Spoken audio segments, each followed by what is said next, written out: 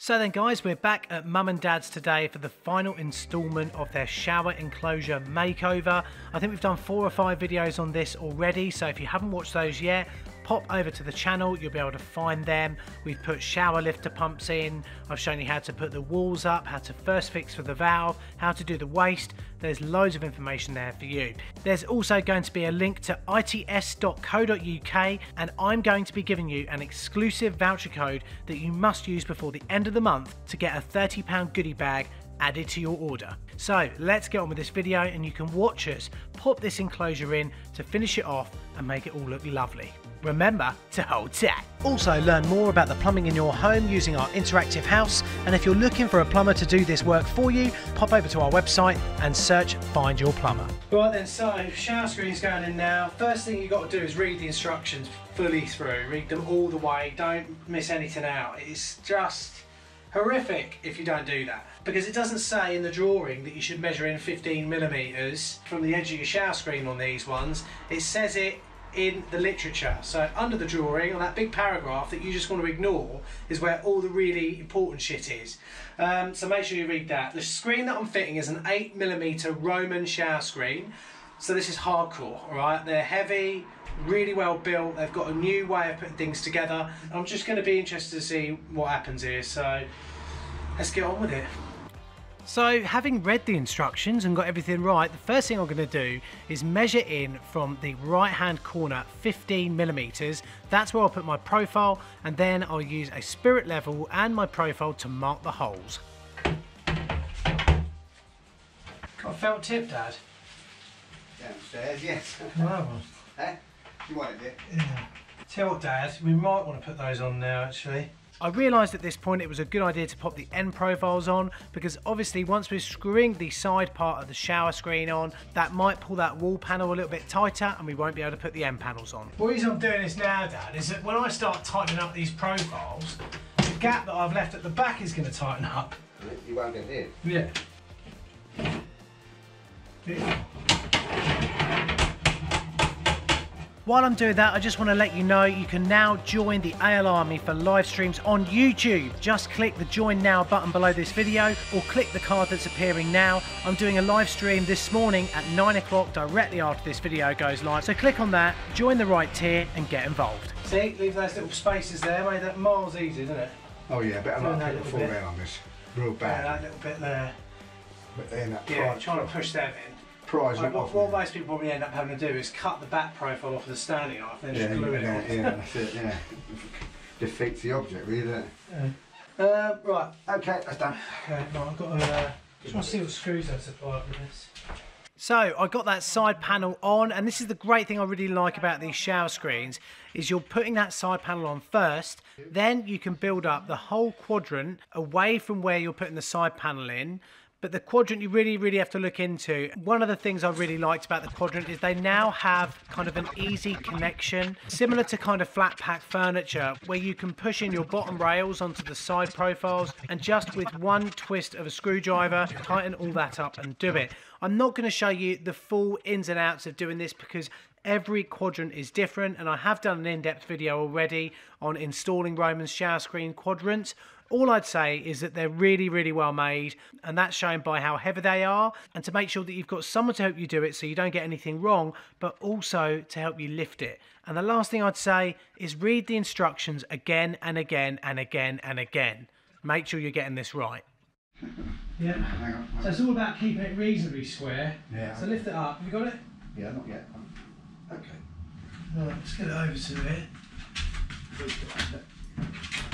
Oh, Dad, look at that.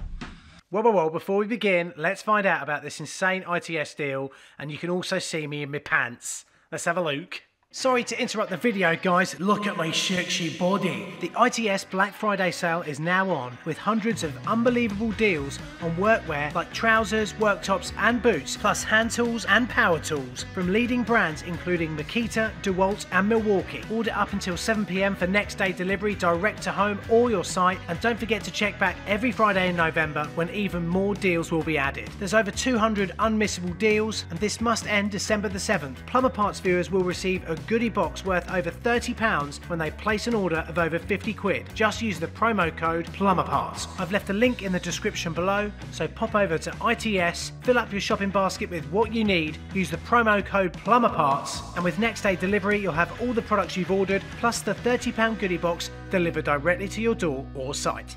Anyway, let's get on with the video. That's tight, but if I get on... Oh no, you're going to have to cock it. That's it, cock it a bit more. That's it. Stay away from the tray.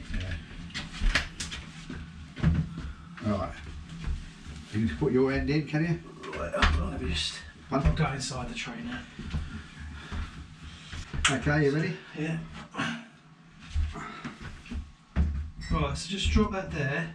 What you want to do here is get the bottom profile and just pinch it a little bit with your fingers and then try and slip it into the outer profile because the profile that's fixed to the shower screen is male, the outer profile on the wall is female. So that's how you always have to do it. I'm doing it from the top because sometimes it's easier, but you can do it from the bottom. Once you've done that, the whole profile will guide in. Now we extend out the other side profile and there's usually a little bit of jiggery pokery here just to make sure that you've got everything square because if the profile comes out on this side it probably means that you haven't got it quite square yet. But we haven't fixed anything down remember, the only fixed point is that other profile on the right hand side. So now we've got everything lined up looking good and then all we need to do is mark the holes down on the other profile, drill them in and then fix our shower screen to the two profiles at each side and then it'll be done.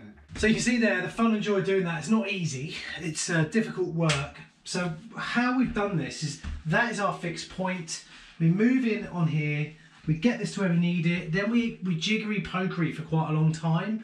Uh, and then we screw these points in here. This gets sealed, the door gets hung, everything gets leveled up, and then we're done. That should be it, hopefully.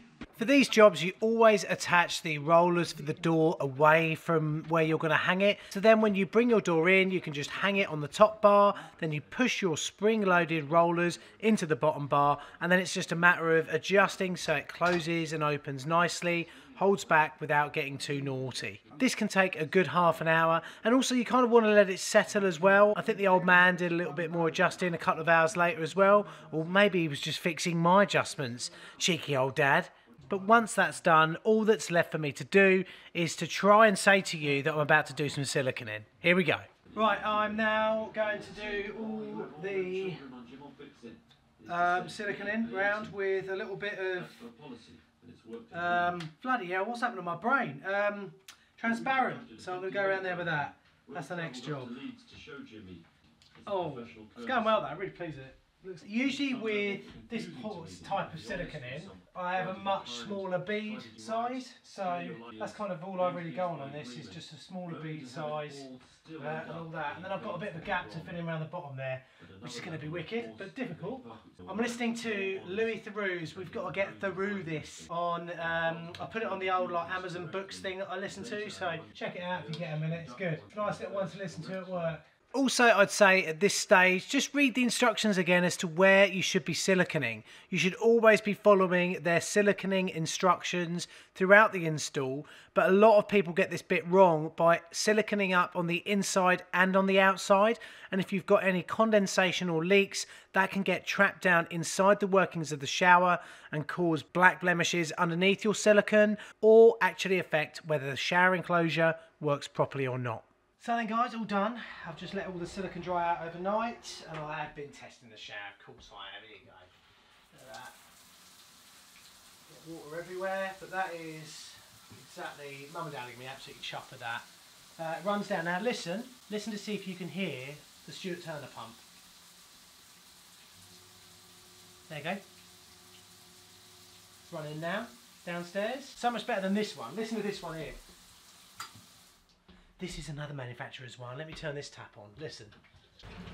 Hello, you. yeah. All right, shut up. Just gonna wait for that to stop. Come on, damn you. so there you go. Um, what would I say? What would I say when it comes to doing this sort of job? Just take it easy. Get everything back to where it should be. Ignore the macerator that's running next to you. Um, and just take it slow. It's not 100% straight away sort of job. These sorts of jobs are get that down, then wait for it to dry, come back another day sort of work. Um, but just take your time, take it easy. Make sure you pressure test everything on the pipe work before you put anything over. That's really important. When you're doing your silicone in, I'd say the big thing is to make sure that everything is clean and dry, no dust at all. So really hoover around, spend a lot of time making sure that that's clean. Um, and then yeah, just just take it easy, take it slow. And when it comes to a shower door, read the instructions. Don't just look at the pictures because the pictures can be misleading on these. That's all I say. It's so important because if you don't, you get this wrong. So look, I hope you've enjoyed this little series of videos on how to do this. Um, it has been good fun working down here, getting all this sort of stuff sorted out. Really pleased with how this has gone. Mum and Dad are happy. Hopefully, I'll still be written into the inheritance. Anyway, guys, I'll see you in the next video. If you've got any questions, comment them below. Um, and you never know, I might do a little comments answered video in the middle of the week. Anyway, guys, thanks very much for watching, and remember to hold tight. See you soon.